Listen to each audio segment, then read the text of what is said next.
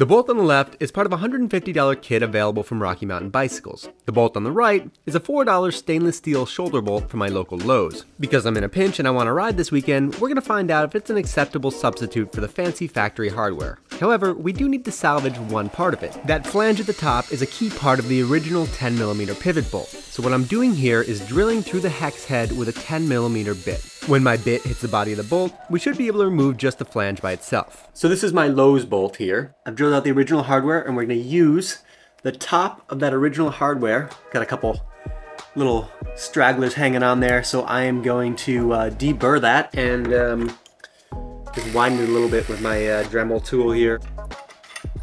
That's it. So now I can show you why I went through all that hassle. So we've got our chainstay here. The chainstay is shaped like the end of the old bolt. And I don't want to put this flathead bolt in here and then have all the force on the outer surface of the chainstay pivot area. So we can put this through and this will now distribute the load while the Lowe's bolt holds the whole, th whole thing in tension. Last thing I'll have to do is just cut this to length. It's a bit too long.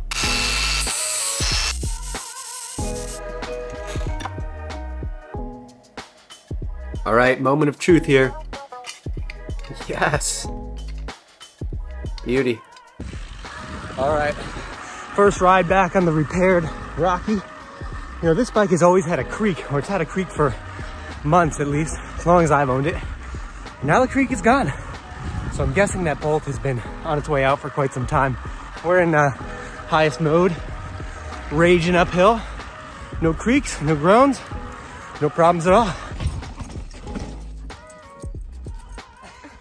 All right, so just uh, just beat the crap out of this thing for the last 10 miles. Just sending it at every square edged rock, um, every gnarly rock garden pounding through full speed. And uh, no complaints yet from the new bolt. Uh, still staying tight. Um, no creaks, no groans. Seems to be having a great time. What do you think, buddy? All right, after 30 miles of trail riding, let's take a look and uh, conclude.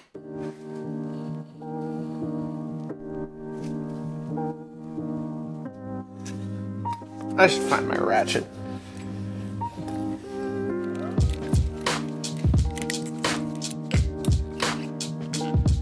Okay, so 30 miles of hard trail riding. No real signs of wear on this Lowe's bolt. I was concerned about it being soft maybe because it's stainless. You know, I, I think the other one is probably a hardened aluminum. If you were to replace every bolt on this bike with hardware store bolts, it would be a significant weight increase. For just one bolt, and especially the main pivot, I'd argue this is a pretty good solution. The little homemade washer, still intact. I was concerned about this cracking because of the stresses that would be that were going to be put on such a small aluminum washer, but yeah, no problems here. And like I said, no creaks or groans with the bike. Everything seemed to work well. Suspension felt great.